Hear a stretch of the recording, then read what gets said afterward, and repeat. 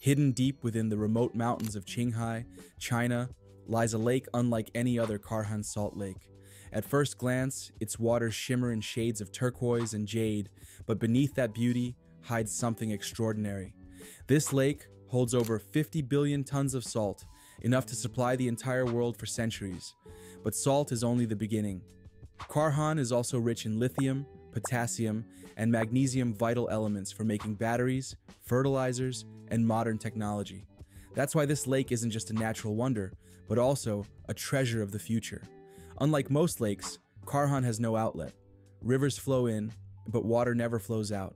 Instead, the dry climate causes the water to evaporate, leaving behind vast layers of minerals over thousands of years. Today, Qarhan is heavily protected, yet still open to limited tourism, offering visitors a surreal mix of breathtaking scenery and unimaginable wealth hidden beneath its surface.